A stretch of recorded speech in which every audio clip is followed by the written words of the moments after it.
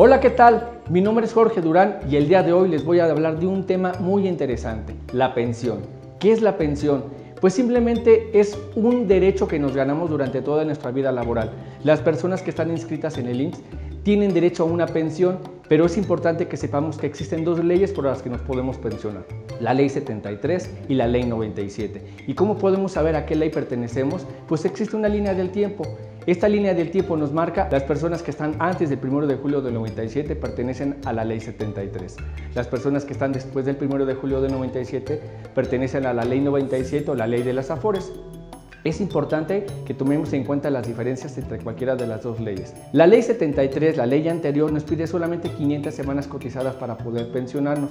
La ley 97 nos pide 1.250 semanas. Además, en la ley 73, la ley anterior, nos vamos a pensionar en base al promedio salarial de los últimos 5 años, además de todo, las semanas cotizadas que tengamos al momento de pensionarnos y la edad de retiro.